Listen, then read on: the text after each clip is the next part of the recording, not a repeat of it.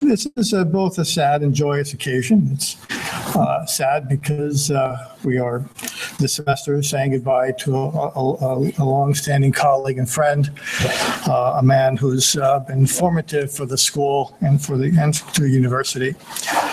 Uh, we have a custom when uh, our faculty decide to retire that we celebrate, which is the, the joyous part. We celebrate their career, we celebrate their contributions, and it is our great joy today to celebrate Thomas Gordon Smith and his legacy.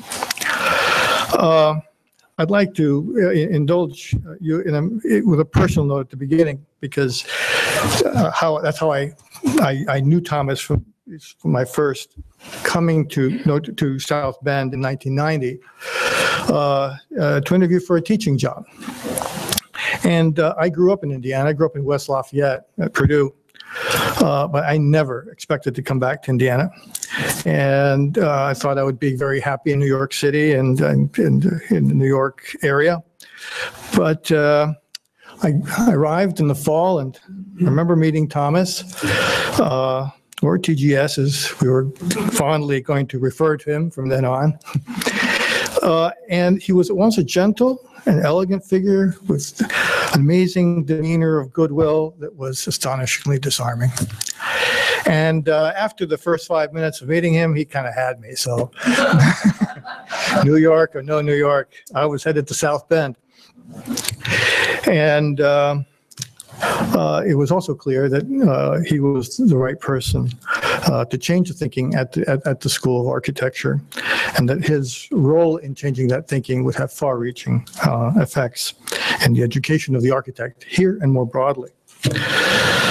Uh, in the 1980s and 1990s, where there was still a true dialogue uh, in architecture, great publications like Progressive Architecture, Architectural Design in London. Some of you remember those with fondness and a tear in your eye. But there were not a lot of places for young architects who were interested in classicism to train. Uh, there was Allan Greenberg in New Haven, which is where many of us uh, learned uh, the trade, as it were.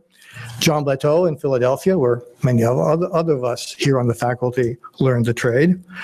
And the uh, Institute for the Study of Classical Architecture was just an idea still being hatched in New Haven by Don Rattner. Now it's called the ICAA, and it has uh, just a plethora of, of local and regional chapters all over the country It has become a true force in classical architecture.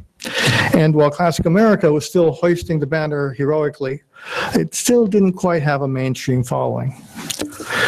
And Thomas actually was an autodidact. I mean, he learned the the, the trait, the, the, the beauty of classicism, his commitment to classicism on his own, and he managed to capture the support of his teachers through uh, at once using the canonical uh, aspects of, of, of, columns and, and their order, the, the rest of the stuff that makes classical architecture, but juxtaposed on free plan compositions. And that duality uh, gave him a, a real uh, uh, authority in this, within the mainstream to actually pursue his real love, uh, which was the classical aspiration. He received his Bachelor of Arts in Painting uh, at the University of California at Berkeley, and then also continued to get his professional degree, a Master's of Architecture at the same place in 1975. Uh, in 1979, he won the Rome Prize the, uh, at the American Academy. He was a fellow for the year. And uh, this is uh, like many others, uh, Michael Graves and so many other architects. He he found his commitment to classicism and his love for the, the, Renaissance and the Baroque in Rome. Uh, his year in Rome culminated in the exhibition uh, of the Strada Novissima at the, Vien- at the Venice Biennale in 1980.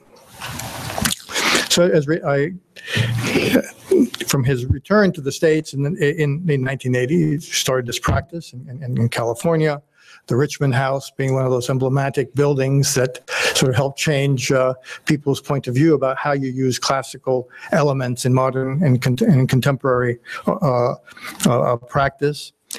And uh, the next few decades were actually spent uh, ex- expanding on his theory, expanding his practice, and, and then beginning to teach in, in, in, in various places, which I'll, I will get to. Uh, among his books, I think we all know Classical Architecture, Rule and Invention, uh, published in 1987. Uh, Richard John's monograph uh, on Thomas Gordon Smith and the revival of classical architecture was published by Papadakis Press in 2001. And there were other books, but I'm just uh, ending on Vitruvius on Architecture, which is published by Monacelli. You know, three seminal publications that have helped students uh, with, with their course of study and also practitioners. So after teaching stints at Yale and the University of Illinois at Chicago, uh, in 1989, Thomas uh, was hired by Provost Tim O'Meara and then Dean of Engineering, Tony Michel. I'm glad to see is in our audience. Uh, the university had wanted a very uh, a new a new direction in in the course of uh, the architecture school, and uh, Thomas brought with him this uh, a passion and a love for classicism. Uh, I think uh, Dean Michel and Provost O'Meara saw great potential in that, and they could they actually visualized how the school could actually transition to yet another iteration of itself of already a long history. Thomas had inherited a school with a long legacy of great architects. I would begin with Eugenio Rayneri, who, in case you don't know, was our first graduate in 1904. And uh, went on to his native Havana, along with the architect Barocas, to design the Capitol building in Havana. So we have uh, great ties to to Cuba through that, and, and also in subsequent uh, uh, periods as well. Of course, there's John Burgee, who's also in our audience today, another uh, exemplary graduate of our program, and uh, and of course many others. But Thomas also inherited a, a largely clean slate. He, the administrate, the university administration gave him a, a, a- a lot of uh, leeway to hire people that he thought could change the program. And uh, in 1990, he, he brought Dennis Doordan and Duncan Stroik and sent Tom Rajkovich to Rome. That was your exile. The following year, he brought Samir Younés, also exiled to Rome, Nadia Al-Hassani, and yours truly. The next wave brought Richard Economakis and others who have some who have since returned to practice, and yet others still who teach at other institutions, thus spreading the uh, the word and the gospel. Um, Christine Franck actually is one of those who uh, came here and then is now at Colorado. So. Anyway, many of us are grateful to Thomas, not just for our careers here at Notre Dame and elsewhere, but actually for opening up a dialogue in American architectural education. And it has not been easy. Uh, the first accreditation visit went as follows. And Thomas warned us that it was not going to be easy, but we were sort of, the faculty were sitting in the room with him. We were kind of probably like deers in the headlights of a Mack truck. Uh, And we were listening to the NAB uh, leader, actually a wonderful person, but Linda Saunders said, "We know what's going on here, and we're not going to leave any stone unturned." And of course, chills are running up and down our spines, but in fact, their suspicions, uh, despite their suspicions, uh, the accreditation team uh, left completely dazzled by the program. And of course, we had two very fine graduate students, Ben Bulgar and Christine Franck, that kind of uh, sweet talked them elegantly. no, but through very convincing, compelling arguments about the role of technology, uh, the role, the rigor of learning a language and applying it to uh, various sets of circumstances. And also the work of our undergraduates, who by this time up, uh, uh, convinced all, all but the most serious doubters at the time. Okay, so the accredit, the architectural accrediting body left happy, and we got a wonderful uh, report. And then the university's accrediting board, uh, the North uh, Central Accrediting Council, uh, came and looked at us, kind of, you know, cleared our throat several times and didn't say anything, just left quietly. But the report came back a few months later. And I remember reading the final uh, two sentences or single sentence in the part about architecture. And it said, It remains to be seen whether the experiment in classicism will blossom into a full-blown branch or remain a quirky twig. Well, no one's laughing now. A year later, Times referred to our program as the Athens of the Midwest. And fast forward 25 years later, our students are getting jobs. Of course, they have been for the last 25 years as well. Uh, But in recent years, probably for the last 15 or 20, uh, we've had more firms to, uh, coming to our career fair than we had students to fill the positions in those firms.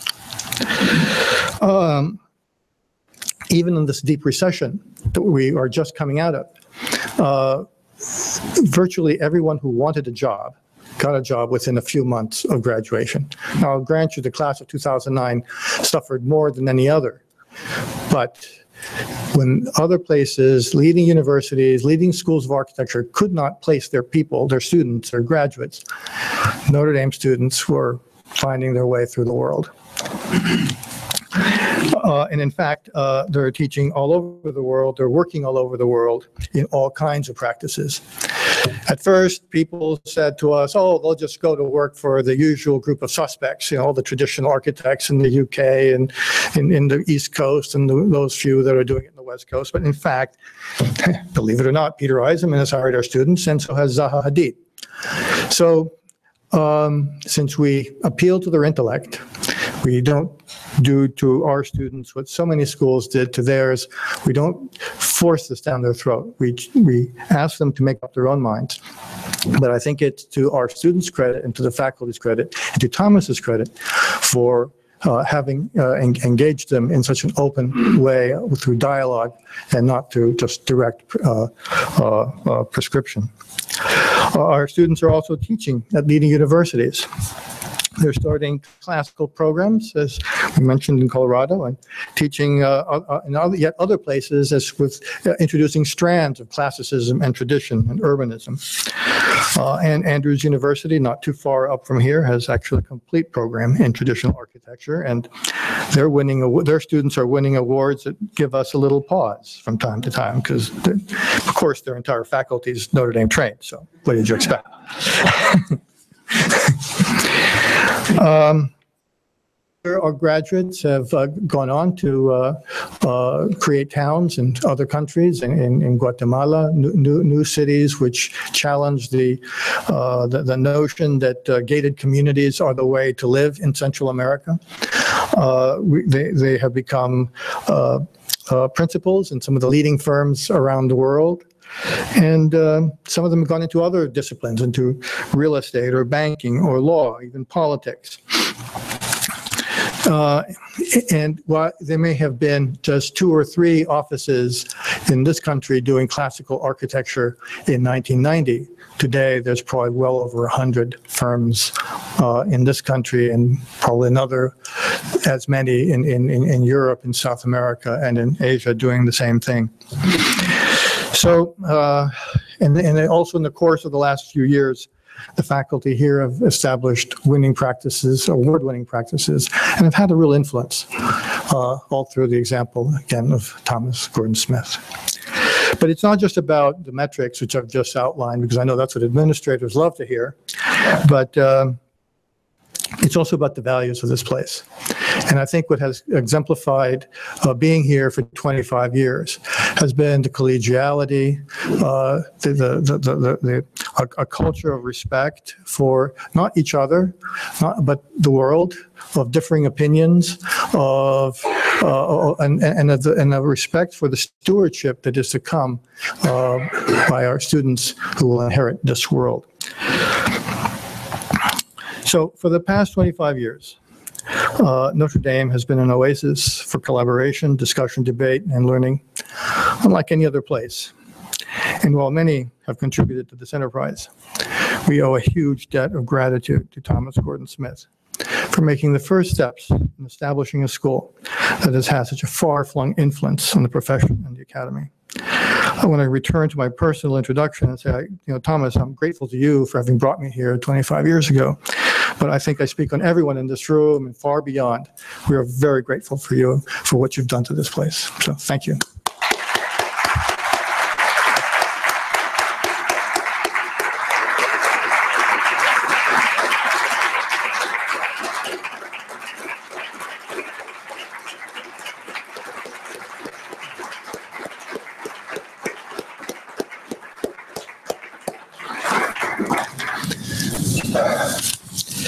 So, uh, as is our custom, we will begin with our colloquium.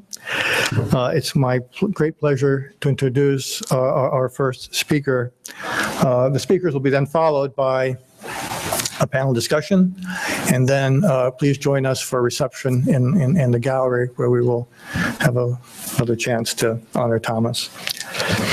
Uh, Our first speaker is Lothar Haselberger, a great friend of the school over many, many years. In fact, I remember Lothar when I came uh, from, as my, when I was a tenure, first tenure track faculty member here. In 1992, he came for a conference, and we were reminiscing last night about that conference, so. uh, Haselberger is the Morris Russell Williams and Josephine Chidsey Williams Professor Emeritus in Roman Architecture at the University of Pennsylvania. Trained as an architectural historian, architect, and city planner at the Technical University of Munich and at Harvard University. He primarily works on the theory and practice of Greco-Roman architecture and urbanism. Several of his many seminal contributions were his discovery of ancient construction- plans at the Temple of Apollo at Didyma in Turkey, as in, is on the Augustan city of Rome and the Pantheon. Uh, A volume he initiated, a volume he initiated on the debate of the controversial Horologium at- of Augustus appeared in 2014, and a book on Hermogenes is in preparation with an advanced chapter published together with Samuel Holzman in the Journal of Roman Archaeology, uh, 2015. Professor Haselberger was a fellow of the American, of the Institute for Advanced Study at Princeton and at the American Academy in Berlin. And he received the University of Pennsylvania's Ira Abrams Memorial Award for distinguished teaching. He is an elected life member of the German Archaeological Institute and serves on the external review boards of the Jahrbuch and Römische Mitteilungen. Professor Haselberger has been a great friend of the school over the past quarter century. It is my great pleasure to welcome back to Notre Dame Lothar Haselberger. Welcome.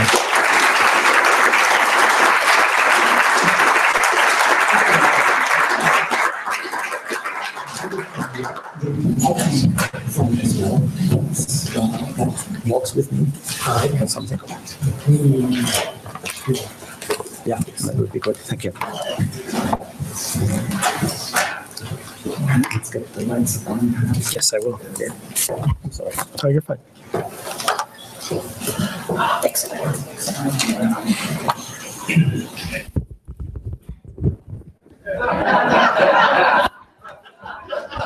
And let's get the lights down.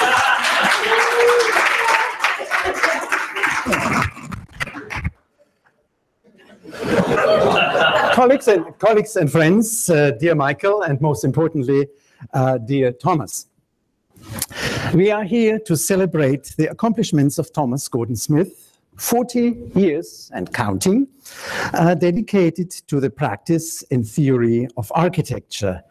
At one of its truly epochal uh, watersheds between modernism on the, on, on the one side and a phase, our phase, I would say, on the other, for which we still lack a generally recognized term postmodernism, the French literary term of the 1960s, sounds somewhat dated today.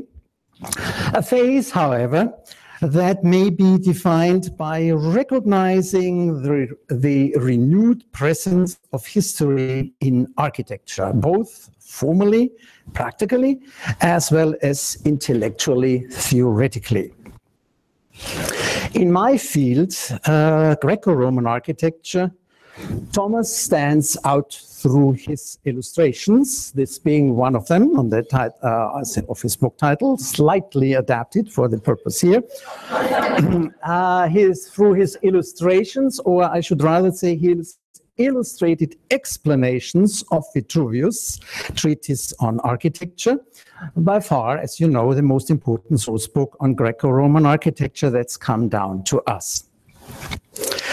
Making this book accessible, this uh, Vitruvian book accessible uh, for present day architects and students of architecture, accessible again uh, after a hiatus of almost a full century from about 1900 uh, onwards, is one of the colossal achievements of Thomas.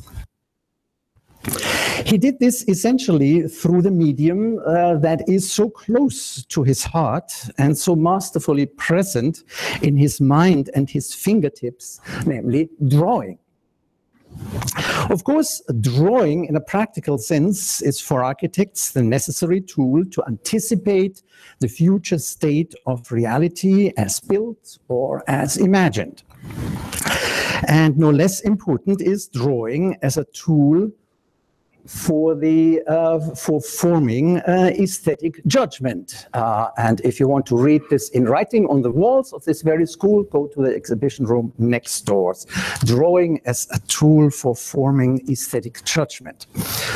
But drawing can also, and is for Thomas in particular, a tool for gaining scholarly insight in the sense that not before you spell it uh, out, uh, spell out a subject matter in images, you can analyze these images in a way that words alone cannot do it.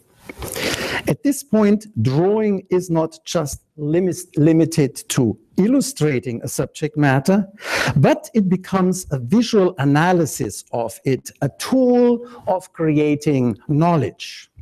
Thomas' book on Vitruvius is full of such insights gained and expressed through drawing.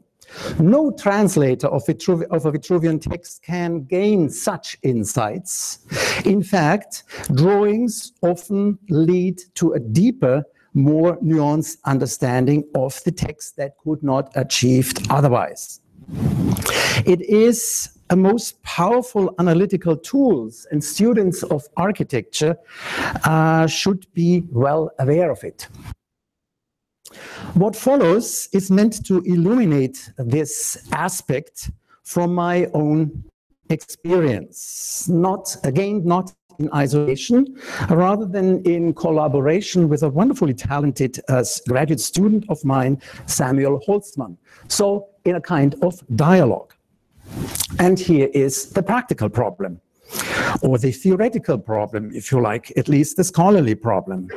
This has hampered uh, and limited our understanding of an entire phase in Greek architecture, the Hellenistic period from about the late 4th century BC to the 1st century BC. Uh, that means uh, 300, uh, three centuries or so.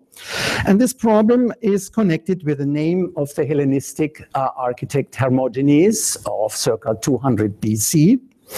And it is anchored in a key passage of Vitruvius, third book, third chapters, paragraphs 8 to 9, where Vitruvius praises Hermogenes as having accomplished something quite extraordinary with his theory of temple building through a strategy of design in which asperitas, that's the Latin term translated with asperity or harshness or whatever that terms mean, term means, uh, uh, what asperitas creates um, uh, through, uh, as the most marvelous and desirable effects in architecture.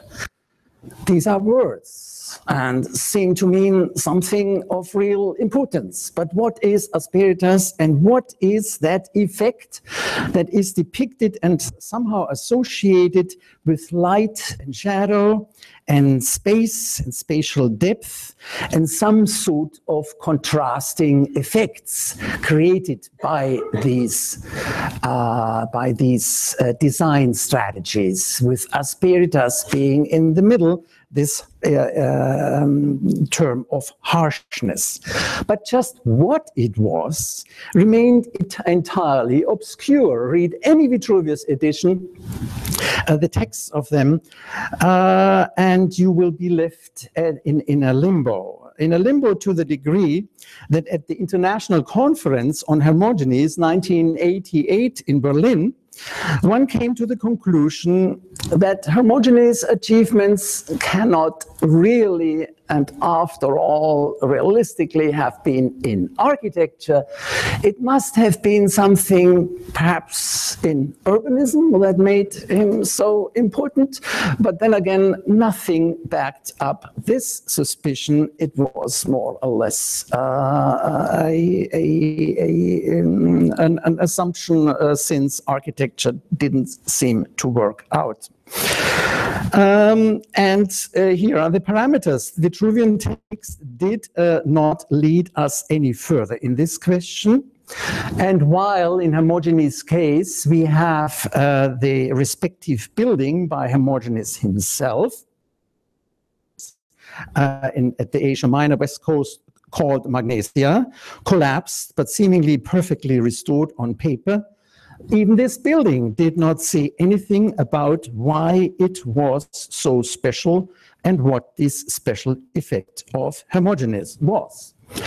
Uh, what follows will then be just a quick sequence of images, uh, since we talk through images and drawings and thus appropriately enough for this subject matter. Here is this place uh, at the Asia, I'm sorry, at the Asia uh, uh, uh, Minor West Coast, Magnesia, not too far south of Ephesus, which most of you will know anyway. Um, and that place was uh, in pretty much the same shape. That means uh, a multitude of scattered stones around the temple most recently one of the pediments being rebuilt, reassembled, but otherwise, um, if not underwater, then uh, silted and grown over. And this is all we have uh, on the site.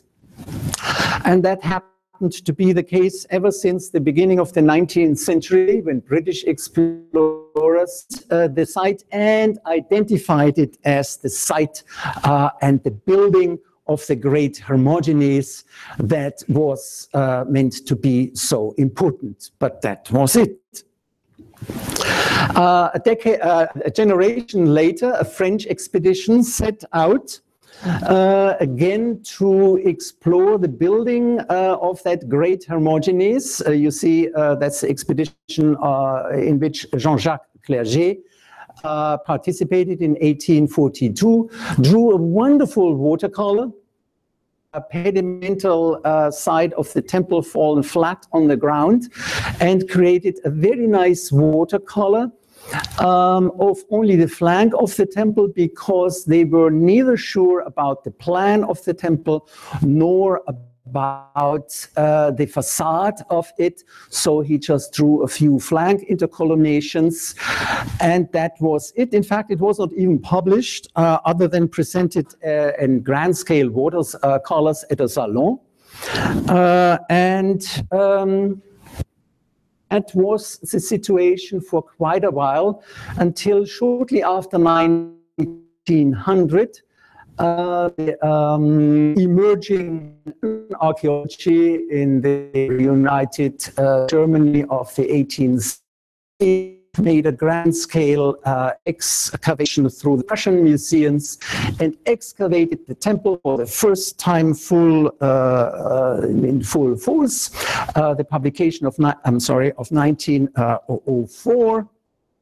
Magnesia uh, on the Meander is exemplary and the basis for that temple to the present day. You let you get a little vignette the uh, title, uh, close to the title page of that publication. And otherwise, you get um, the, the, most sophisticated and state of the art rendering of architectural realities of that time uh, in plain line drawn uh, elevations, and for the first time, the plan of that temple with a wide uh, uh, uh, colonnade in between the exterior ring of the columns and the cella. Here, this is the so-called pseudo-dipteral temple because the inner row uh, has been allegedly omitted. So Vitruvius tells us to um, save money. Uh, among other things, and also creating those marvelous effects. Um, otherwise, you will find in that publication also state-of-the-art uh, detail uh, of all the little elements of the entire temple, and this sets the uh, standard for a present day, along with photographs. Photographs are for the first time strategically uh, deployed to stand for uh, perspectival renderings, for shadow drawings, because they were just um, considered not objectivity, no more it was right objectivity. New objects, bizarre drawings with their fabulous, spectacular, but imagined reconstructions uh, in Baroque light and shadow and perspectival depth and enlivenings. Uh, we like them so very much today again, but keep in mind this was just saying farewell to that tradition uh, of architectural embellishment uh, in favor favor of a new objectivity. And the culprit for this is the German uh, uh, art historian uh, Heinrich Wölfflin, who made a point that photography is now uh, uh, standing for a much more objective way of rendering uh, objects, sculptures, Gothic, classic alike, and architecture as well. You cannot do and you should not apply shadows anymore. You should not even apply perspectival drawings. Give line drawn uh, orthogonal elevations and plans and add photographs of the specific elements, and this is it. And if you want to go further, which Germany did, is then you add to these wonderful line drawings of the temple you can still add a, a, vignette or so. This really doesn't matter. And this is the only such thing in the entire publication, a small, this small scale vignette. Uh, in addition to the, uh, the plan, you may very well, uh, uh also in addition to uh, the photographs of the actual elements, create a full three-dimensional uh, replica of the entire temple using for the basis, since you can see them at close distance, the actual elements elements and then the uh, retrieved elements of the entablature uh, recreated here, uh, also at close view here. And the entire thing then under the best light conditions, under objective light conditions of a studio with skylights here in the Pergamon Museum. This is the same way how the Pergamon altar is presented to the present day under objective light conditions. And uh, one column, no, it's not enough. You give a full specimen of the entablature, two columns plus the entablature under ideal light conditions. What else could you possibly ask for? And still, in the case of Hermogenes, it left us in a total limbo. Um, several, ever since the 1920s, several attempts were made to at least be helpful a little bit towards this towards understanding this major architect of an entire period. And Fritz, Fritz Krischen, the outstanding uh, um, German uh, architect and archaeologist and draftsman of the 1930s, created a large-scale panel of visualizing ancient architecture in which this Temple of Magnesia of Hermogenes was also presented Uh, together with the latest reconstruction of the altar. And you see here every single detail is perfectly rendered down to the last little joint lines back there under the ceiling, a kind of hyper reality because you wouldn't ever see these things. But here they are in full objective perfection. And then again, what was so special about this type of temple with the inner row of columns left away and these special effects? Nothing, nothing, nothing that uh, would, uh, would lead us uh, any further. In fact, in not even the drawing of Clerget helped us very much, but I could at least insofar um, um, bring something new a while ago. As I went back to the French expedition results um, and, and checked on the column height, because that's the only thing that the German publication could not um, retrie uh, retrieve anymore and find uh, sufficient elements, um, saying by uh, that the French expedition claims they found the right column height. After all, the most important thing to uh, pre present the appearance of the temple. So I went to the School of uh, Beaux-Arts in the 1980s and found the actual evidence that Clerget had indeed measured the drum, uh, the columns drum for drum. So the French column height is the correct one. That helped a little bit um, by simply uh, telling the uh, folks from the Berlin Museum your column height uh, reconstructed according to Vitruvius, thus uh, allegedly on safest of grounds, is too tall by about uh, more than a full meter. Uh, uh, this is how the temple has been reconstructed, and this is how we have to reconstruct it. Now, in my in my in my inability to express light and shadow more than I could at, uh, at that time, I simply uh, uh, uh emphasized the intercolumniations by sheer black to emphasize their presence over emphasizing them again and showing the temple in its new column height.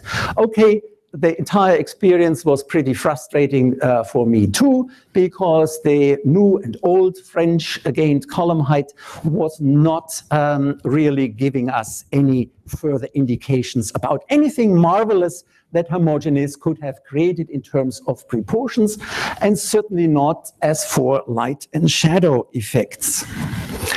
Um, as for the type of temple, just keep in mind that the Magnesia temple and the, homogene the Hermogenes line of temples features just the lack of that interior row of columns as we have them in these uh, magnificent Asia Minor temples such as Didyma, a whole forest of columns surrounding the cella but this was just not what Hermogenes did and argued for it that it looks even better and also saves you money and so forth and so forth. So um, another additional important insight, in fact, the most important insight as I see it today, came from my colleague Tekla Schulz, uh, meanwhile uh, ordinarius at the uh, University of Berlin. She analyzed a temple uh, of similar uh, plan arrangement, although of the Roman period uh, uh, in the Hellenistic tradition at Aizanoi, Asia Minor, still standing pretty well, and was the first one to, um, to show that the claim of this type of temple being more economical is just a fiction. She measured all the preserved uh, elements of the ceiling and came to the absolutely reasonable conclusion what you save in columns, you need in the wider spans of these beams, you also need in stronger columns so that the effect is actually almost and close to neutralized. So it is a nice, inviting, but big lie that fiction that Vitruvius brings down to us, allegedly coming from Hermogenes himself, that this whole thing is uh, not only looking better, but also less expensive. So why, why he being hesitant for a moment in doing these things? But what again was the visual effect in, in, in frankly, why was Hermogenes so famous? It was a question that kept nagging me for more than 20 years and not before Sam Holzman came and told me, Lothar, we need to model Hermogenes in digital terms. He, Sam, is a student of archaeology, uh, but also uh, has some architectural skills and as well as a classical, as, as well as a knowledge in classics. And he literally forced me uh, to do that seminar and uh, knowing about uh, this pretty simple things for architects uh, in the SketchUp system um, made us and worked as technical instructor to recreate the temple from scratch. And not only that, to create for the first time, imagine, uh, three-dimensional uh, uh, or, images of the temple in uh, three quarter views or all views that you want in light and shadow and thus making accessible what latest technology of around 1900 prevented us from having and thinking about how did those light and shadow effects work, especially in the colonnade. What made a pseudodipteral colonnade so special, in fact, superior? Here you see the members of our seminar, students of, from classics, uh, architecture, art history, and, and, and, and, and archaeology just one fall seminar where we created, as I said, the temple from its basis to the to the top as a piece after piece and started wondering what makes the Pseudodipterus so special. And here are the results. They are really nothing uh, um, uh, special. I should add that we also modeled certain things in three dimensions. In fact, we wanted to create a whole colonnade that proved to be a little bit too expensive. Inspired, we were by an uh, article of The Economist uh, at just that time.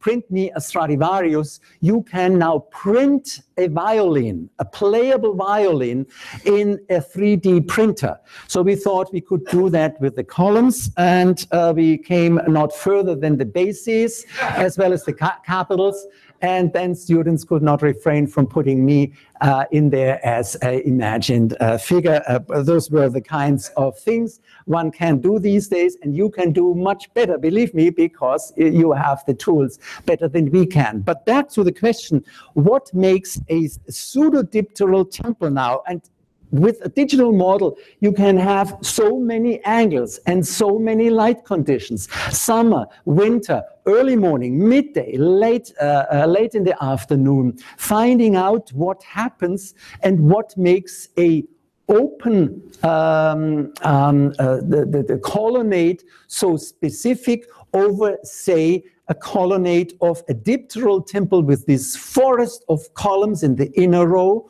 or a kind of Parthenon arrangement. Uh, uh, sorry, this is the Parthenon arrangement with walls here, and this is the dipteral arrangement with columns here. I show you. Next one. Uh, so in the middle, the Hermogenes solution. To the uh, left side, you have now the uh, uh, dipteral solution. Uh, allegedly, the center uh, uh, temple is much superior to this one, as well as to a solution, say, in, in the Parthenon. And for the first time, we could sit in front of literally room tall uh, recreations of the temple and study the light and shadow effects. Look at this. It hasn't been uh, around for a full century just because new objectivity prevented us from dealing with such volatile elements like light, and shadow. And you architects know how important that is. But I uh, dare to ask you, do you present that in your drawings or are you sticking to the new objectivity line drawings and maybe computer animations? Uh, in classical archaeology, in my field, it was simply lacking, and it prevented us from finding out what Hermogenes really meant with that one key term, asperitas, the harshness of contrasts in light and shade, the perspectival depth, the enclosure of rooms, the openness, all the things that we knew theoretically um, are uh, a theme of Hellenistic architecture in these large-scale porticos. This is uh, the, the of Attalus, of the American uh, uh, excavations in, in, in Athens, which gives you built-up examples of that very same asperitas, the light and shadow effects, this row of columns uh, going back, the soaring perspectives. This is what Hermogenes had in mind. This is what he wanted to sell and this is what he wanted to sell at all costs by telling you, in fact, It's obvious you use less columns. That means you save money by doing the better thing and it looks better. And I tell you, this harshness is something, an effect that we know theoretically is a hallmark of Hellenistic sculpture, but we just couldn't get hold of it in architecture. It was through drawing, it was through rendering on a relatively primitive level. Every one of you, at least here at this school, can produce better drawings. So the, but even such a thing helped us, helped archaeologists. So in this respect, something seems to have been accomplished, but in a broader sense, way more needs to be done. For instance, on my instigation, digital rendering as taught at Penn Schools of Design has now been made a mandatory element in our graduate group of art and archaeology. These people need to have the basics of visual rendering in order to uh, uh, come to results that architects traditionally didn't give us. Vice versa, architects need to remain open-minded about the needs of their academic neighbor disciplines, us sitting there in art and archaeology, even history, and throwing us our hands helplessly because we do not have the right visualizations. Thomas has laid out both that path of towards visualization and he has marked that path. For this, lieber Thomas, we are so very grateful to you. Thank you very much.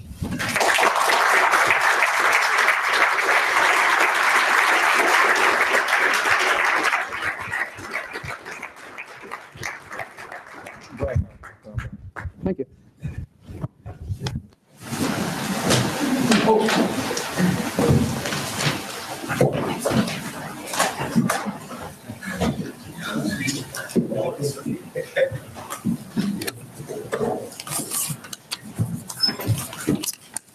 Bravo, bravo.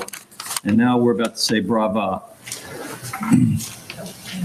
Christine G.H. Franck is the founding director of the Center for Advanced Research in Traditional Architecture, CARTA, at the University of Colorado Denver College of Architecture and Planning. We're very pleased to have Christine here because she is one of the first and one of the best graduates of the graduate program that was founded in classical architecture when Thomas Gordon Smith came here 26 years ago. Christine um, got an early foundation in architecture, uh, being unduly influenced by uh, Colonial Williamsburg, and then she went to college at some college in Virginia designed by our third president. She shares with Thomas Gordon Smith a love of American architecture, American classicism, and has reflected that brilliantly in her work, in her drawings, in her teaching, and particularly in a Palladian house she designed along the Atlantic Ocean. She has held positions at the Prince of Wales Foundation, the ICAA, uh, uh, and many other places, and has taught architecture at Georgia Tech, and we were very fortunate to have her uh, teach in our Rome program a few years ago. Please welcome Christine Franck.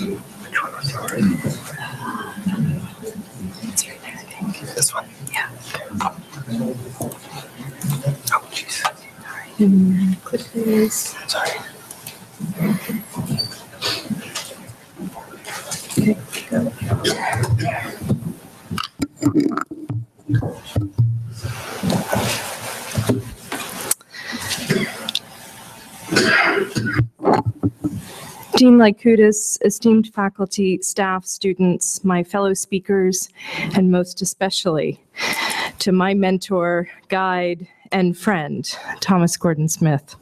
Thank you for the honor of inviting me to speak on the occasion of Thomas's retirement. Given the unique nature and magnitude of Thomas's role in architectural education and the continuity of the classical tradition, It's particularly humbling to be asked to share a perspective on classical architectural education. From the moment I first began to learn from the great tradition of classical architecture, right here in Bond Hall, with Thomas and my sole fellow classmate, Ben Bolgar, through my internship years with Allan Greenberg and my work leading the Institute of Classical Architecture and Arts academic programs to the new frontier I occupy now, founding the Center for Advanced Research in Traditional Architecture at the University of Colorado. I have experienced and experimented with different ideas of education in classical architecture.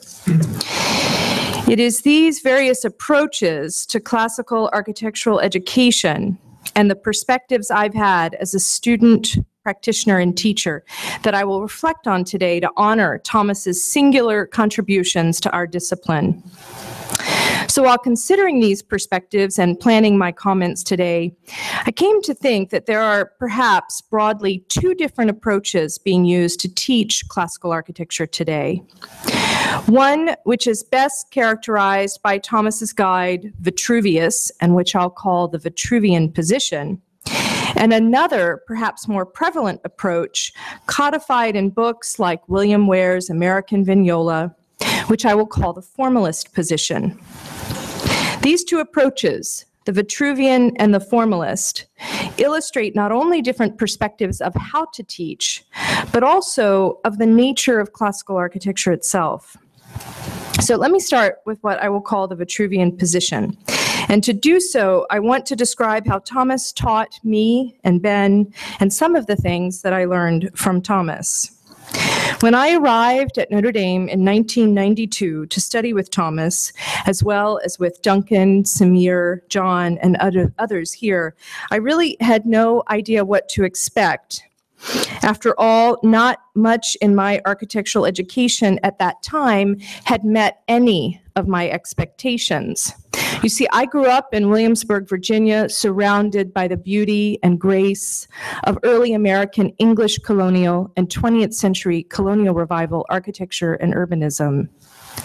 But instead of learning about this when I began my undergraduate architectural studies at the University of Virginia, my teachers instructed me in the deft and fine art of using X-Acto blades to cut color aid paper and glue it on Bristol board.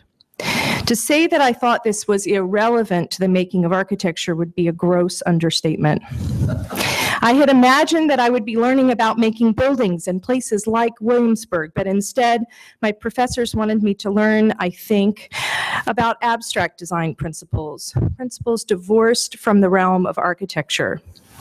Progress towards learning this mystical art of abstraction seemed to be measured in variables that we could control lines, shapes, from monochromatic to toned to full color compositions. If, in fact, there was actually any measure of it at all. By the time I was in my third year, by the time I was in my third year at Virginia, I was fed up and ready to drop out of school. And then my whole world changed. My family moved from Williamsburg, Virginia to suburban Northern Virginia, and I saw for the first time the unsustainable, ugly, soul deadening world that my chosen future profession had built for my fellow citizens. If we were once capable of building Williamsburg with its civil structure written clearly in its urban form, with its buildings along a fine-grained spectrum from commercial and residential to civic and sacred, built of solid materials and lasting construction, with an integrated landscape of gardens, squares, and countryside, if we were once capable of building such beauty, function, and meaning, why couldn't we build that today? Well, I thought that we could. And not only did I think we could equal or better our past, I felt we had to. Our profession owed it to the present and future to make better places. And so I set out to figure out how I could change the world around me for the better. Fortunately, of course, there were many others already working towards these goals, and in a matter of months, I discovered architects and town planners like Andreas Duany and Elizabeth Plater Zyberk. My dive into classical architecture began in the city and quickly morphed from wanting to learn more about how to design better towns to wanting to learn how to design the buildings that formed those towns and the traditions out of which those buildings grew. Learning of Notre Dame's new program, I confess at the time I didn't even know that Notre Dame had a School of Architecture, but I learned of this new program. I made the trip to South Bend, met Thomas, and Michael, a bit like you described, he pretty much had me at hello. I soon became Thomas's student and a student of classical architecture. I recall those first classes with Thomas, buying my first copy of Vitruvius, sitting up in the studio with Ben Bolgar in spaces now occupied by offices, and beginning to learn from the person who would become my mentor and guide. How does one actually teach a whole tradition of thought and practice? How does one consciously reconnect with a tradition that is so varied and vast? In part, Thomas did so by encouraging us to bring our lively mental energy to our designs rather than to follow a set of rules. Ben and I would sit in the studio, us in chairs, Thomas at the blackboard, where he would walk us through readings in Vitruvius, sketching out and giving form to Vitruvius's words. eustyle temples, triglyphs, metopes, and more would appear on the board as Thomas lectured and sketched. Ben and I furiously took notes and asked questions, and then Thomas set us free with Vitruvius's text to draw up our first temples. It was confusing at first. It was difficult.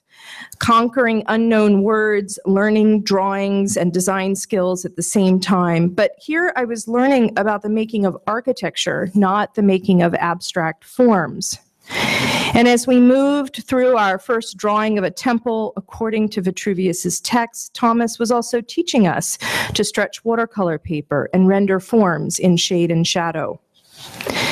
But learning from one text was not enough, so Thomas repeatedly would drag us off to some Grecian house or another, always in the middle of nowhere, uh, usually in a minivan at the crack of dawn, where we would set about measuring it Seeing the forms that Thomas had first taught us on that blackboard, forms from thousands of years ago, forms which we had first drawn out from words, seeing this ancient tr- tradition of architecture used thousands of years later in America in wood instead of stone gave us our first understanding of the breadth and poss- possibilities of this tradition.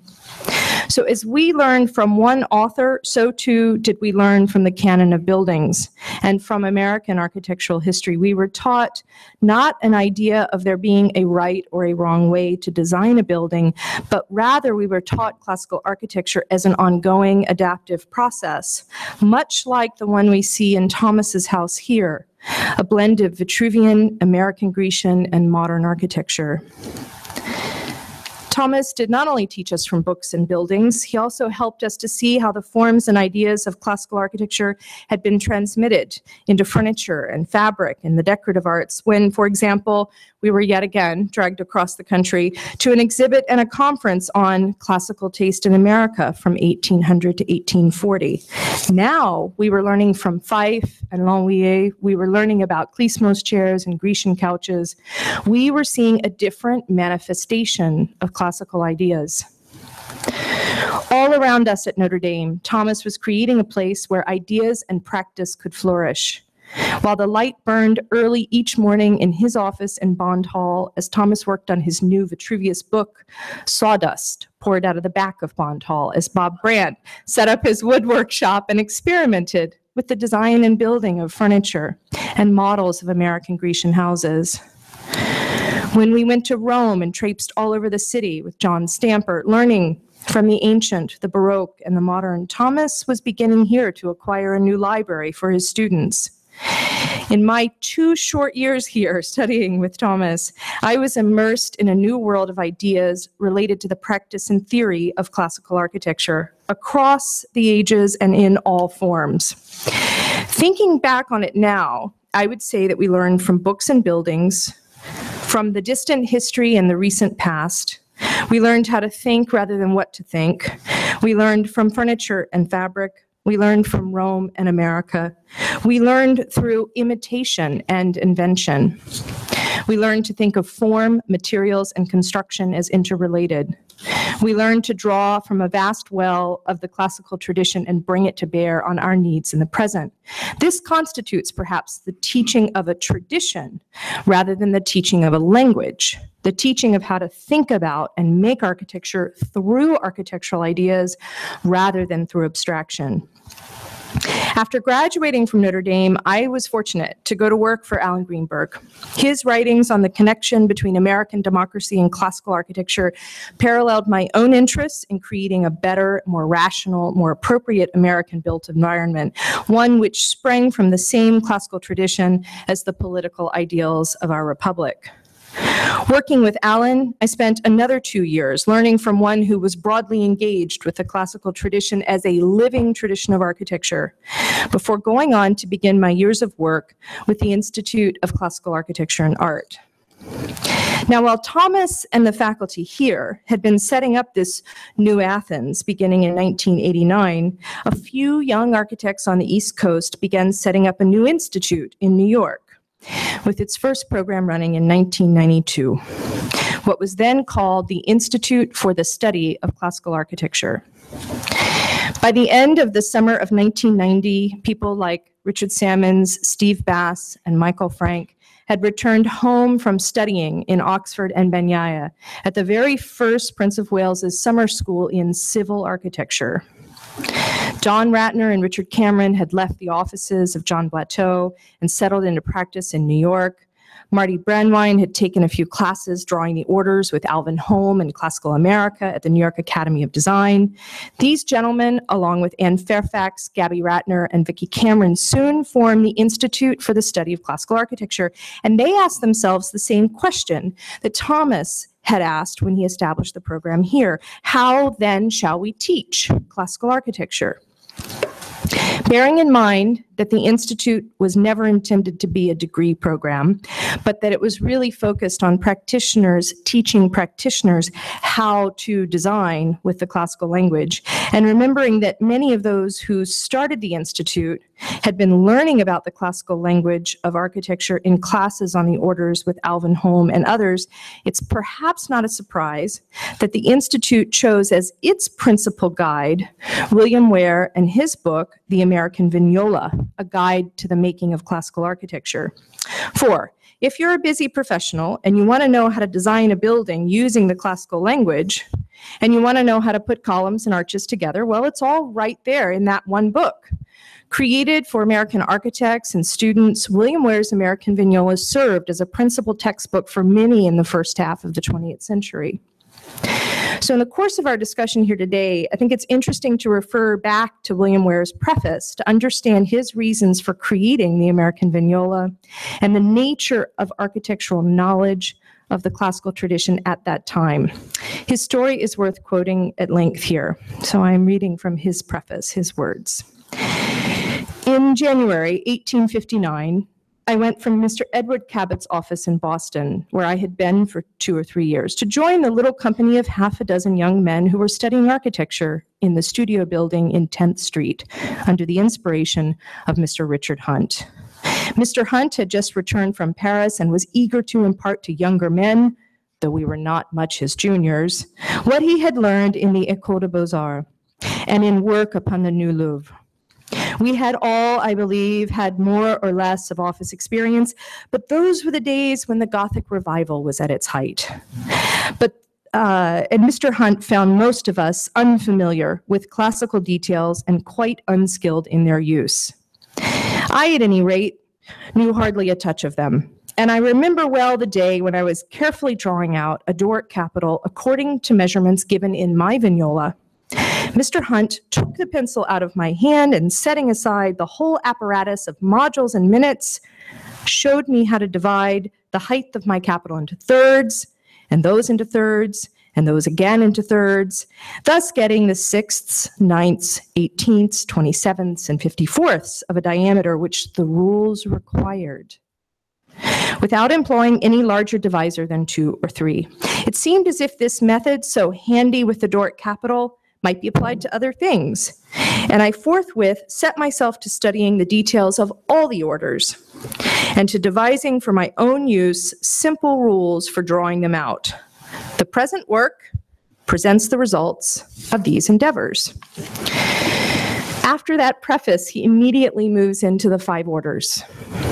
This is, it should be obvious, a very different approach than that of Vitruvius, which I will compare in more detail in a moment. But for now, let's return to the way the Institute of Classical Architecture and Art was developing to teach classical architecture. In addition to William Ware, other texts that had been key to American architects practicing in the early 20th century were adopted as teaching guides by the Institute, including uh, Harbeson's study of architectural design with special reference to the program of the Beaux-Arts Institute of Design, McGoodwin's Architectural Shades and Shadows, and Magonigle's Architectural Rendering and Wash. From these early beginnings, we formed an educational program at the Institute structured around the following process of learning. First, one would learn the names and how to construct classical molding profiles. Then we taught how to put these shapes together and create a classical order. Then we taught students how to use these orders to generate architectural design. And finally, we taught them how to present these designs as analytiques, carefully shaded and shadowed and rendered in wash. This is still the structure of the Teaching process. Though in recent years, Richard Cameron made efforts with the Beaux-Arts Atelier to expand beyond this formalist approach, as well as Michael Mesko and Stephen Chrisman, who are now working to expand the range of educational approaches. So if you'll recall my description of Thomas's approach to architectural education, compare that to this approach derived from the American Vignola and the École des Beaux-Arts, I think you may begin to see the differences in what I'm calling the Vitruvian and the formalist approaches to classical architectural education. To further this understanding, let me now draw some comparisons and contrasts, mostly contrasts. First, on the education of the architect. We are, we are all well familiar with Vitruvius's description of what is necessary for the education of the architect. He instructs us to consider two important things. First, that the architect basically must know a little bit about a lot of things. He says the architect should be equipped with knowledge of many branches of study and varied kinds of learning. For it is by his judgment that all work done in the other arts is put to test. Later, he expands this to tell us that the architect must know about drawing, geometry, the use of the rule and compasses, how to make plans for buildings and their grounds, apply the square, the level, and the plumb bob. He tells us we must know about optics, arithmetic. Uh, we must know how to calculate costs and compute measurements. We must, must know about geometry and how to solve problems of symmetry. He tells us, too, that we need to know about history, philosophy, music, medicine, law. In fact, he says that, quote, since this study is so vast in extent, embellished and enriched as it is with many different kinds of learning.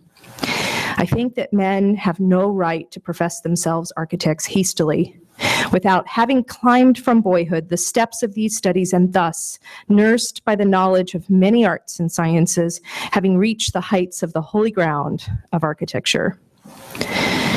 These various bodies of knowledge, Vitruvius tells us, are the children of both practice and theory. Practice, he says, is the continuous and regular exercise of employment where manual work is done with any necessary material according to the design of a drawing.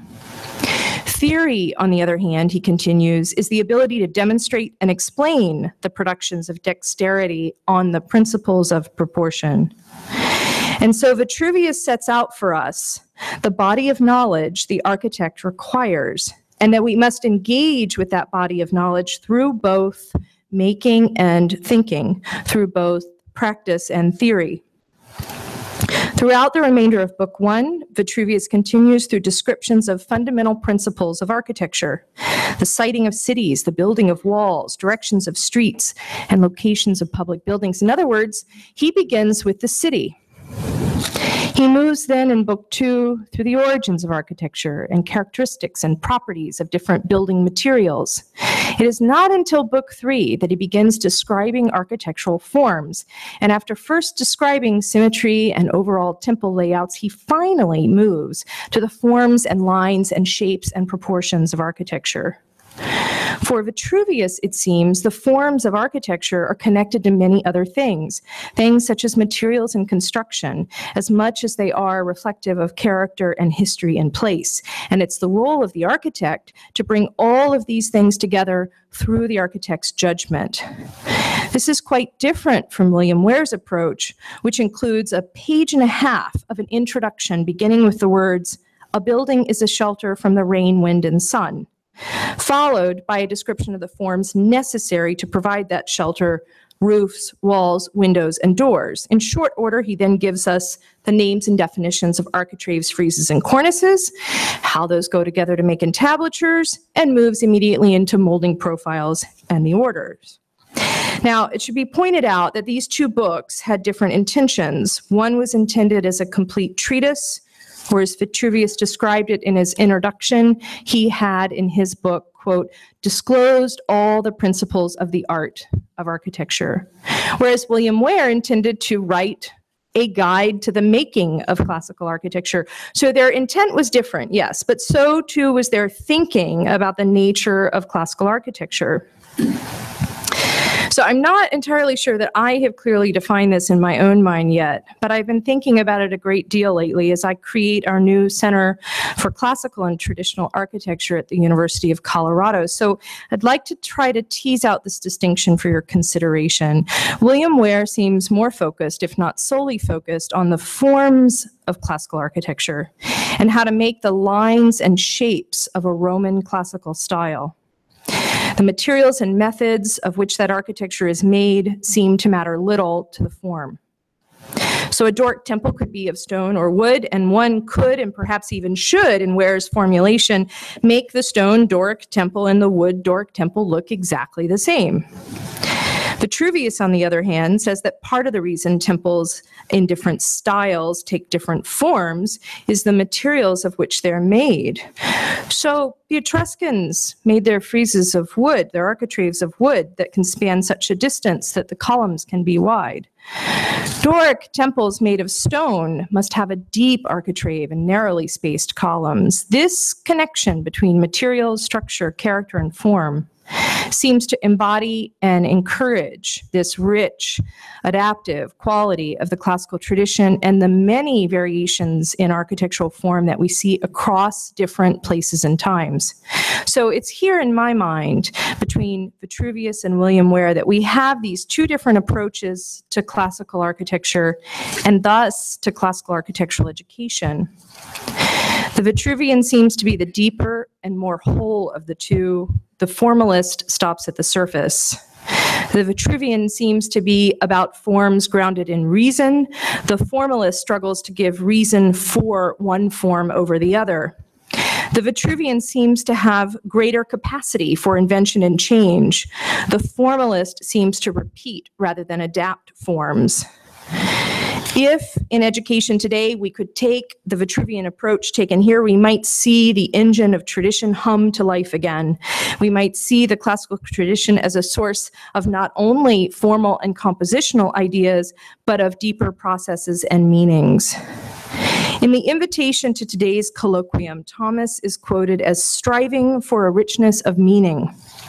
I believe this Vitruvian approach to architecture and education has provided that richness of meaning to Thomas, and through Thomas to all of us, his students.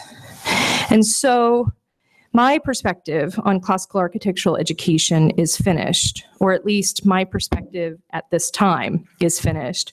For if there is one thing among all that I have learned from Thomas, it is always to be a student. I'd like to conclude by reminding us here, in the light of Our Lady, of the great accomplishment that Thomas has achieved. At a time when almost none were learning and none were teaching from and engaging with, a tradition of architecture that had created the greatest monuments and places of all of history at a time when thousands of years of knowledge of how to build well had been jettisoned in favor of abstraction and new architectures, Thomas reached back into history and brought the classical tradition forward into our time. So Thomas, as your student, and behalf of all of those who have been your students, whether directly here at Notre Dame or at a distance learning from your books and articles, on behalf of all of those of us who will benefit in the future from the buildings and the places that Notre Dame alumni will create, on behalf of all of us who have benefited from your lively mental energy and judgment, thank you. It is not enough, but thank you. You have disclosed to us all of the principles of the art of architecture.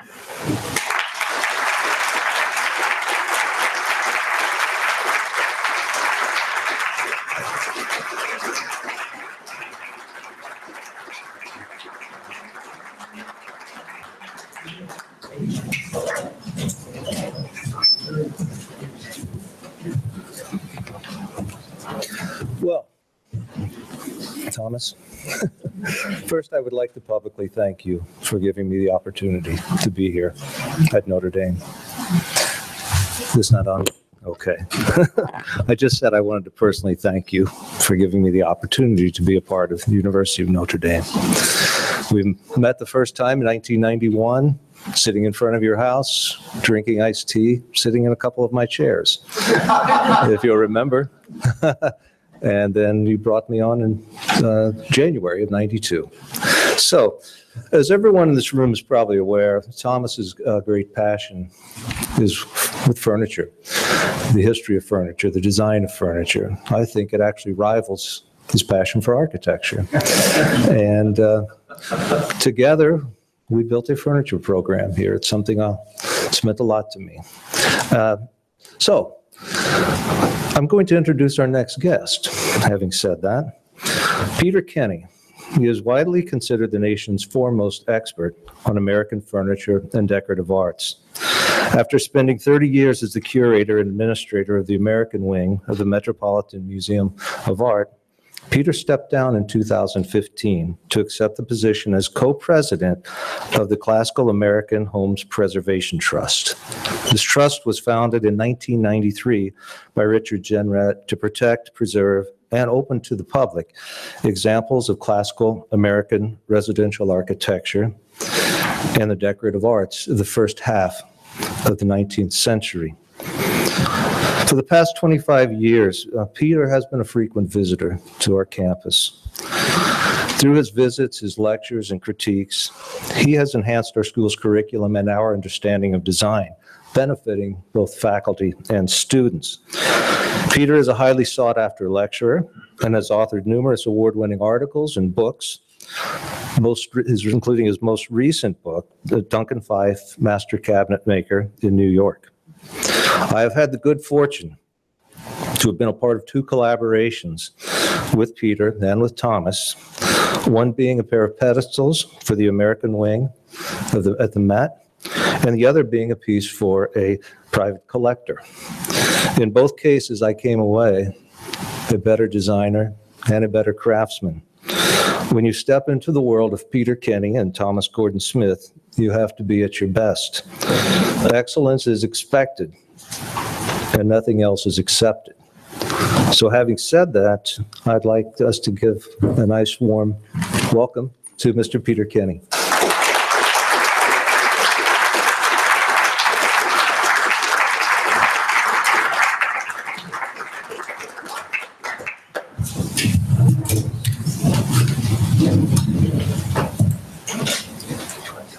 Oh, it's PK. TGS. Yeah. Thank you.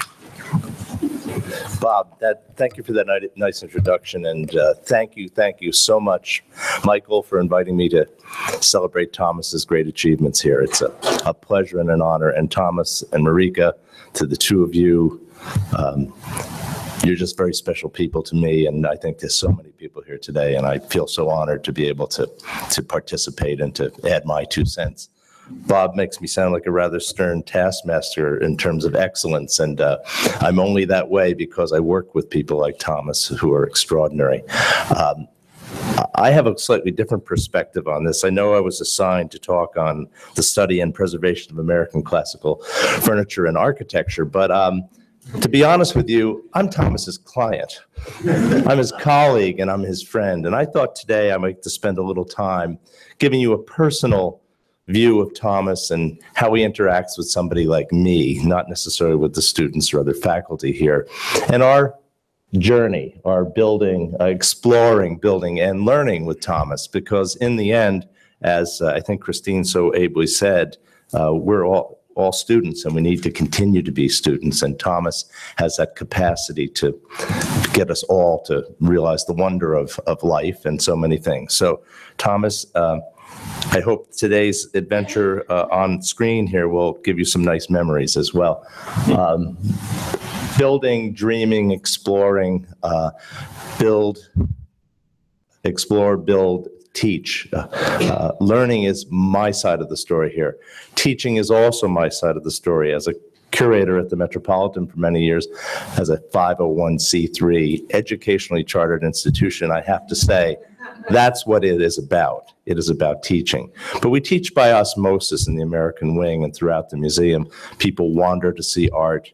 They are inspired by place, they are inspired by objects, and it's a very personal experience. So, some ways figuring out to get under their skin to get them to look, to get them to see, to get them to enjoy. Uh, these are things that I think working with Thomas and our galleries has really helped. The first slide you see here is Thomas Cole's An Architect's Dream. As I said, it's a dream to work with Thomas, so I'm going to call this a client's dream.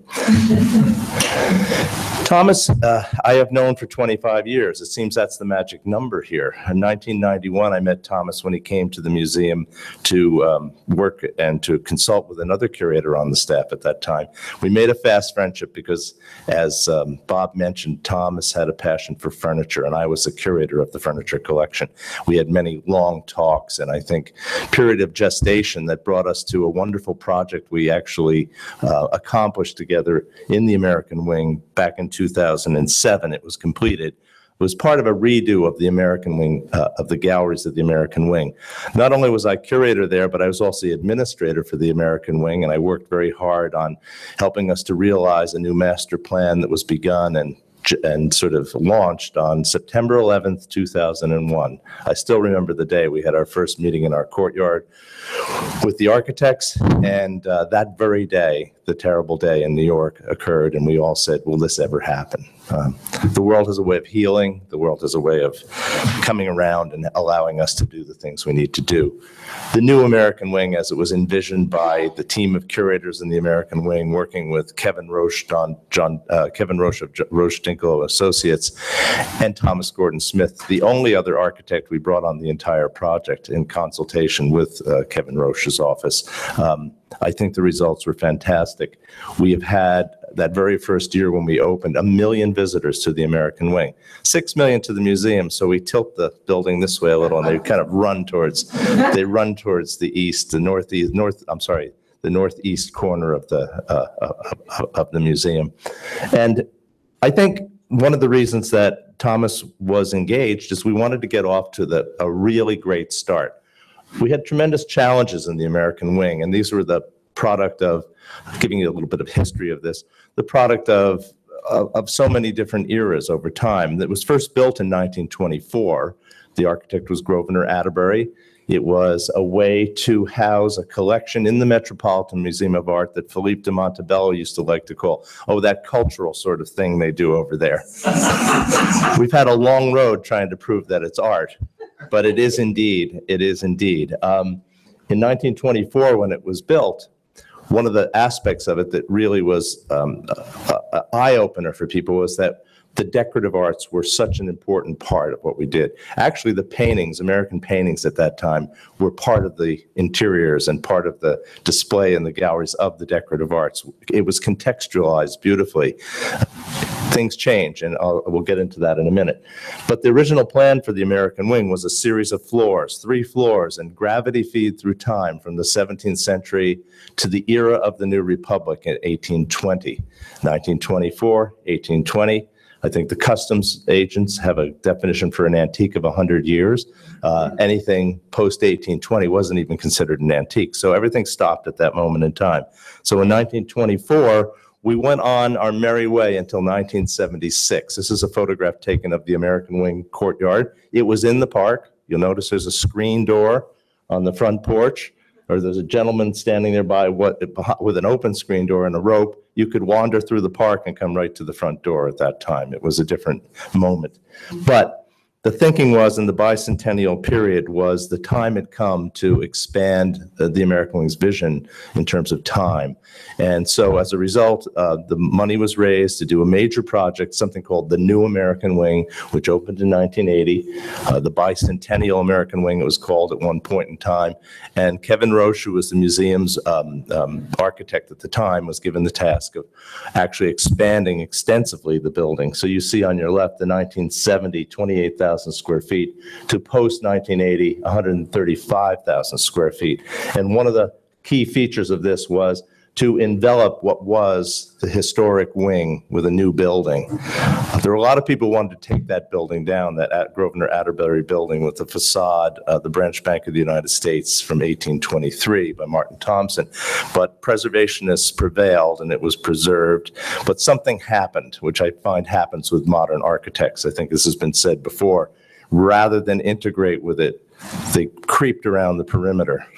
They sort of said, well, that's your problem. It's right in the middle. We'll expand out from there. So you had, as you can see, that core and it was wrapped. And it was very uh, wonderful to get so much extra space, but raising money and other complications caused a lot of value engineering, as they say. And as a result, in 2001, we decided we wanted to enrich these interiors and to make the 1980 building as beautiful as we could, almost as beautiful as Grosvenor Atterbury had made the original for, in, in 1924. Paintings galleries were added. The American paintings collections had been shown in another part of the museum prior to this. They were brought to the American wing. The courtyard was transformed into a 19th century uh, uh, uh, architectural elements and American sculpture on display with a garden design by Innocenti and Webel of Roslyn, Long Island. And uh, the trees didn't last very long because the conservators said, time to have some UV protection on the glass. So the, the trees died back rather quickly, hence that that, that image I showed you of the sculpture in the court. The rooms, again, dated from the 17th century, and now we move to Frank Lloyd Wright. Now, Frank Lloyd Wright, I have to say, at the time, when I arrived at the American Wing in 1985, he was the god. This was the most important room in the mil, in the building. He continues to be the god of the building, if you have to know the truth. Everybody arrives there. But he was such a god that all the motifs and details that were taken by Kevin Roche for the decorative arts part of the, of the, um, of the galleries were keyed off of Frank Lloyd Wright. So everything from classical furniture to Rococo Revival interiors. When you walked up to it, you had Kevin Roche oak detailing. And you had galleries that looked like this. Thomas probably remembers this gal- gallery very well. Uh, So when we engaged Thomas to come to work with us on this, um, probably about 2003, I think it was, Thomas, uh, this is what was to be seen. And if you look back at the plan, you can see in the center, is there a laser pointer on here? No.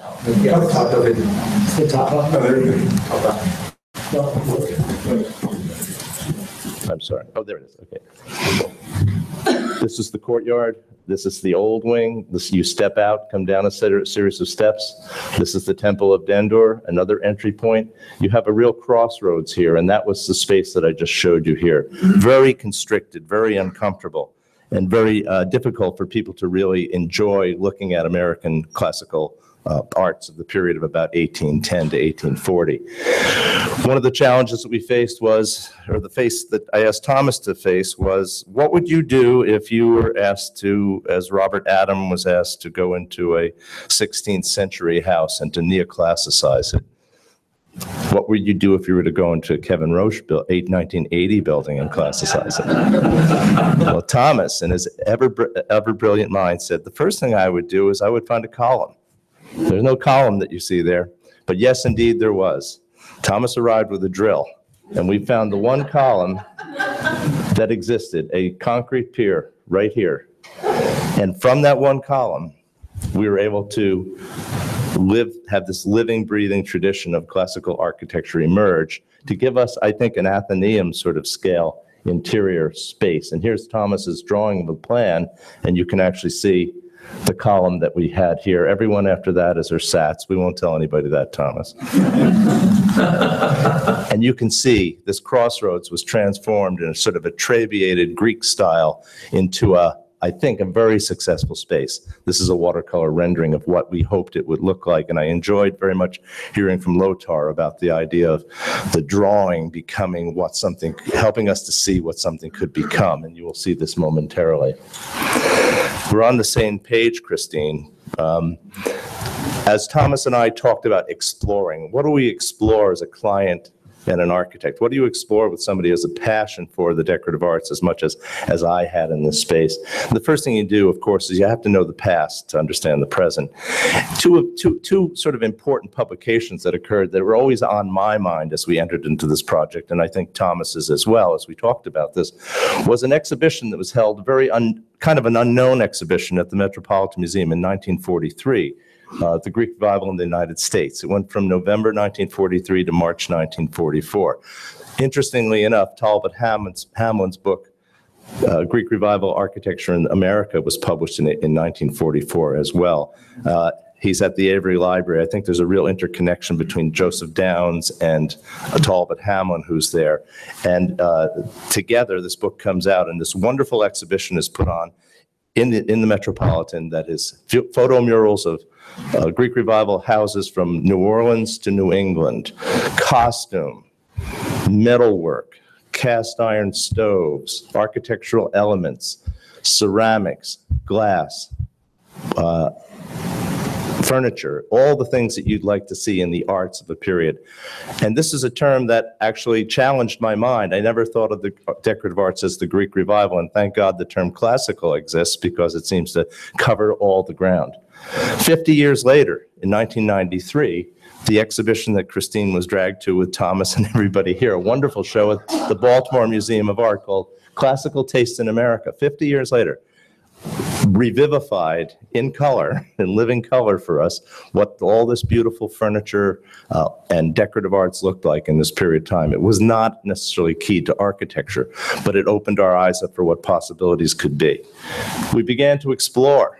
The first thing we explored was the collection of the, of the Metropolitan Museum of Art one of the great classical collections in America, as a matter of fact. So working with Thomas and looking at beautiful klismos chairs, like these examples from Baltimore and Philadelphia, looking at the work of Charles Honoré Lannuier, Duncan Phyfe, uh, Anthony Quervelle, Joseph Barry of Philadelphia, all the greatest pieces that are iconic that are in the books were going to be in this beautiful gallery that Thomas and I were working on. And it gave us so much freedom. But there also would be paintings by Thomas Sully, by Thomas Cole. There would be beautiful sculpture, Horatio Greenough, 1832 portrait of George Washington.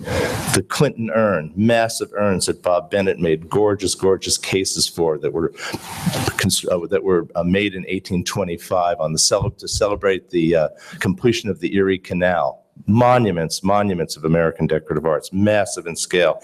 And on the Warwick-like vase that you see here, scenes of the falls at Little Falls on the Erie Canal, uh, flora and fauna from America. Talk about integrating into the classical tradition something that was uniquely American porcelain vases from the first well-established porcelain manufa- manufacturer in America, the Tucker vase, and also French goods for the American market, like this allegorical clock of George Washington.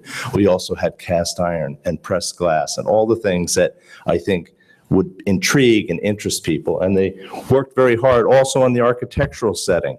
Um, Thomas um, has a way, I think, of making it clear to people who are decorative arts specialists like myself about the matrix from which all of this comes. And so as a result, we were searching and having fun, um, not early in the morning in the van, Christine, but uh, taxi cabs or subways there, to two, we we landed on two essential sites to interpret the woodwork in the interior and some of the painted decoration and some of the details. One was the great LaGrange Terrace or Colonnade Row, uh, Five of the, four of the units of the nine, original nine still survive on Lafayette Place in New York. So Thomas, who has great experience, particularly in the Blue, Blue Man Group section over here, uh, had been and continues to have a major study of this building. We poured over this interior and, uh, and really enjoyed our exercise there and understanding this building and trying to think about ornament, proportions, getting it right in the interior of a, of, a, of an American art museum that was originally built in 1980, this section. Here's a couple views of LaGrange Terrace, and my favorite one, of course, is, uh, is this one, A.J. Davis and John Starwalt, near what LaGrange Terrace ought, New York ought to have been, 1833 to 34, uh, his grand vision and his trade card from 28 to, I think, uh, 28 to 35 or something. But what I love is the term architectural composer because uh, the maestro was in the house with Thomas. the second house that we chose as a as an as as a sort of a benchmark for beauty was the Alsop House on the campus of Wesleyan University, which is a beautiful cottage ornate, sort of an Italian and Greek building that had all much of its original painted decoration, as you can see, some in the frieze, trompe l'oeil elements here. On the interior, we had beautiful trompe l'oeil painting as well. And uh, Thomas brought to the party James Langley, who helped us to paint the interiors of the galleries. So we, uh, here are some studies by James for um, the type of ornament that we would do, literally um, interpreting what was in that Alsop house. The ultimate result of this, of course, was the beauty of having hand-painted fresco-like paintings in the interior. And every time I look at Thomas's watercolors out here in the palette, I just think that uh, this is something that we'll have forever in the American wing as well. I have to remind people there when I left the museum, this was the most expensive fraught project ever with this painter on site, and you better protect it forever and ever as well.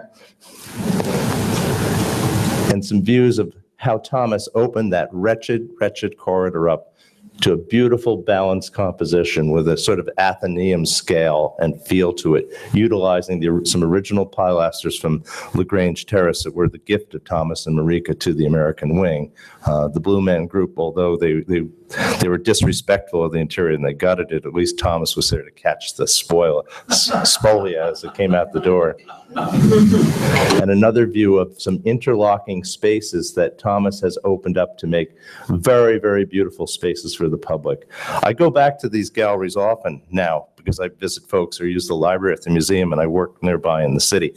I'm always amazed at how people stop and spend time in these galleries. It used to be a passageway and now it is a destination and something that people love and enjoy. Another relationship I had with Thomas, not in a client sense that I wanted to describe for you, was something that I think helps to highlight his passion for the decorative arts, or as Bob said, his um, well, his knowledge and his passion of the decorative arts and furniture in particular. Thomas almost single-handedly has helped us to understand the late work of Duncan Phyfe. Uh, this is a poster that I had made, a directional poster for the Duncan Phyfe exhibition at the Metropolitan in, in 2012 and 2013. When we did the show, I brought all the materials to Thomas Campbell, the director of the museum. You always do this. You bring the posters and the, the some of the samples of the signage and things to show him. And I said, "What do you think, Tom, of that poster?" He said, "Oh, it's a little too austere."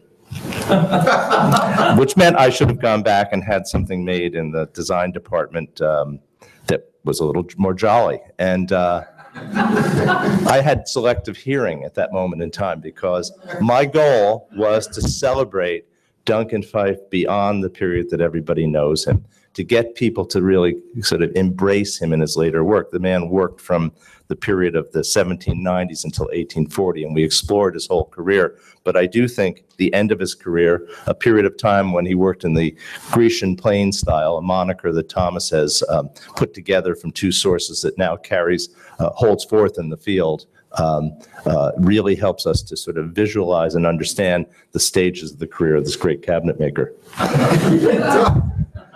now, now, architecture was great, and I really did everything that Thomas told me. But I, now I said, "You're traveling with me."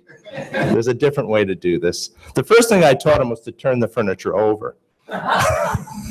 Marika, actually, he had he was exhausted that day. So I've had more people think it was me. I think Thomas and I were were actually pretty much soulmates on this. But this is an example of um, not just him looking with me, of you asking Thomas to be in the nicest way. He wasn't my consultant on this project at all. I did the exhibition with um, the late Michael Brown at the Museum of Fine Arts in Houston. But Thomas was my guide and soulmate, particularly to the later period. And he brought me especially to one site that I think I'll go through this a little with you today and have you see it through Thomas's eyes and my eyes as we did this. And that is Milford in Pinewood, South Carolina, a great, great house um, that was built between 1839 and 1841. Extraordinarily well documented uh, from terms of how it was built, specifications, plans. I'll show you a little bit about that. But in particular, about the furnishings that were made for the house. There are a lot of questions, of course, as we think about furniture and how it relates to the house and how, you know, how intimate the architect was with the furniture makers. I think we're beginning to learn a little bit more about this. The same way there was an architectural composer in New York, and A.J. Davis, there were um, decorative architects who were advertising as early as 1818. There's a show, 1808, uh, 1808. There's a show up now at the Philadelphia Museum of Art about Benjamin Latrobe's commission for the Waln family of Philadelphia, that black and red, um, Etruscan red uh, uh, uh, klismos chair I showed you before, and how one particular man, George Bridport from England, was considered and considered himself a decorative architect and worked hand in glove with Latrobe on the project. You'll see as we look at this, the amazing thing about this house is not only are there plans, but much of the original furniture survives from the house as well. Here are the owners of this house, the builders, uh, 1838 portrait and 1839, John Lawrence and Susan Hampton Manning. Um, 22 years old at the time they built this. So those of you who are in this program or enter this at 22, you just, wouldn't it be nice if you were having somebody else build it for you? But uh, handsome, handsome couple. Uh, They were in a circle of people who were connected to some of the building that was going on in Charleston at the time.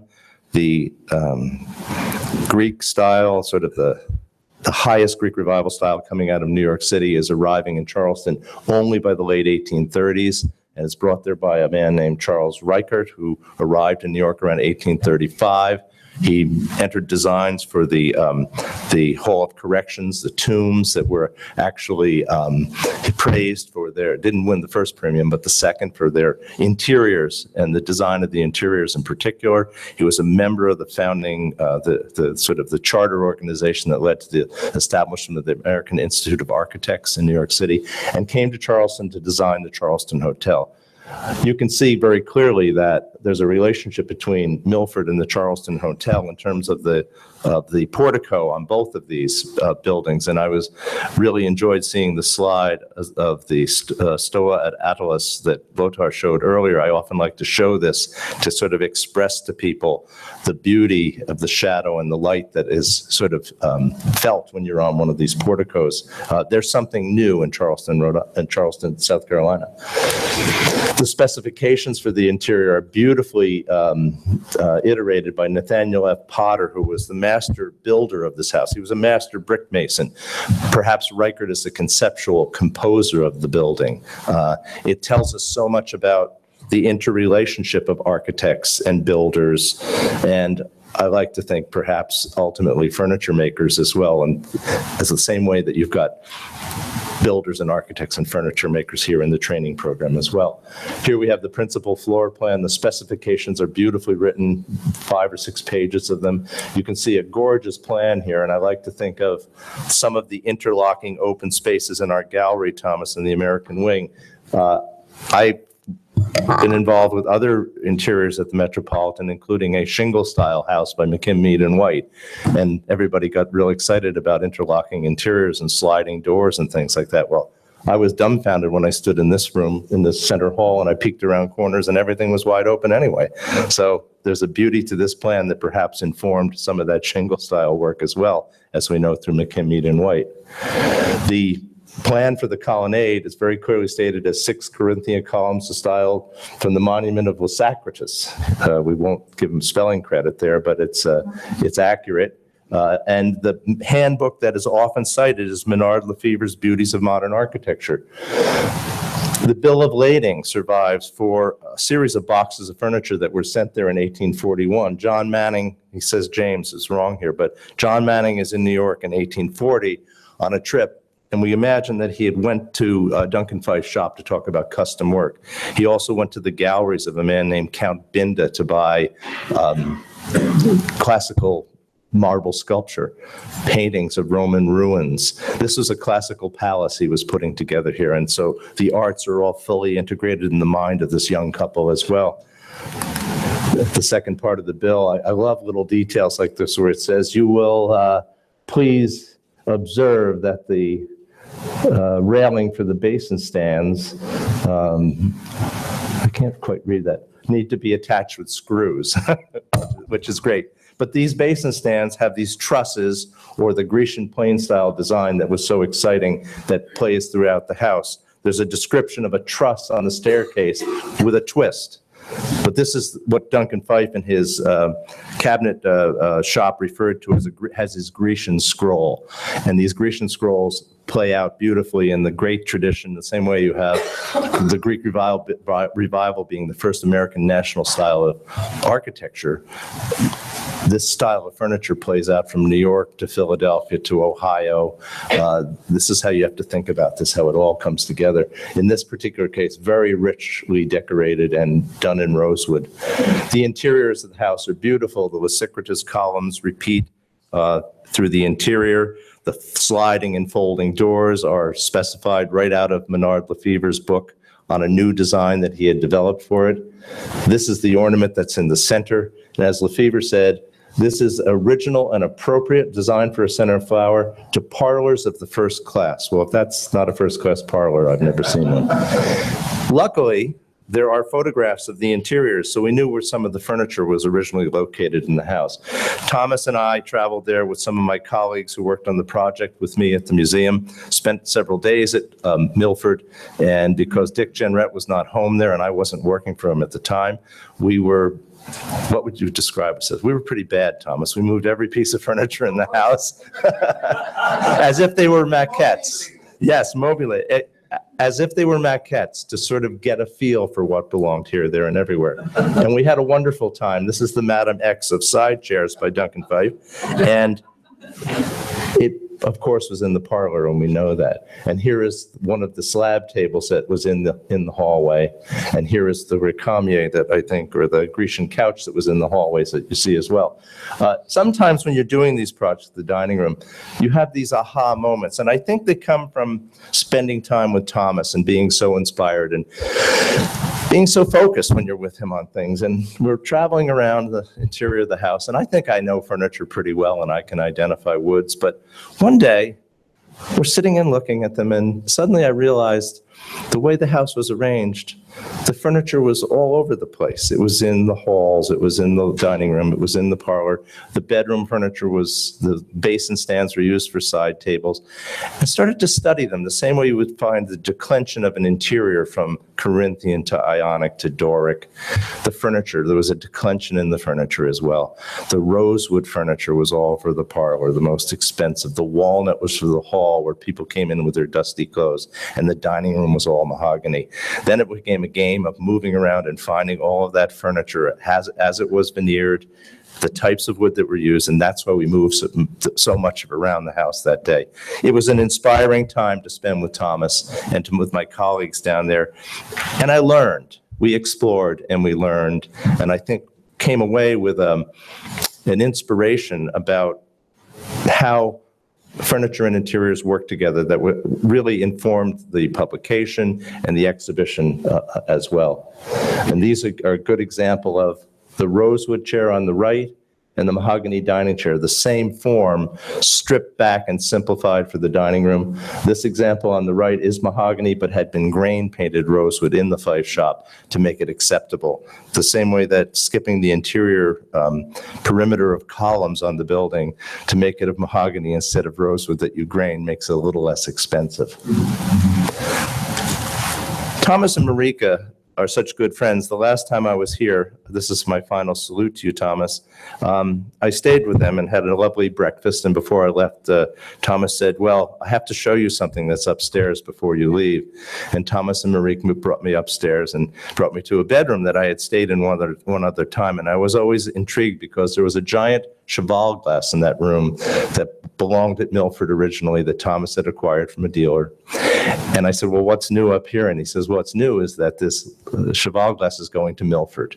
So he made a gift of it to Milford Plantation. And here it is now in the bedroom, which we have recently installed with one of the original French beds in the basin stand. So Thomas, your achi- uh, achievements, your talents, your love of beauty are expressed in the American wing of the Metropolitan Museum of Art. They will always be there uh, in my lifetime and yours at least, and our children's, I hope. Milford Plantation, you put your mark there as well through your scholarly work and the beautiful gift of this object to, to us. This is a thank you to you and a tribute to you as a great scholar, a great friend, and probably the greatest architect I know. Thank you.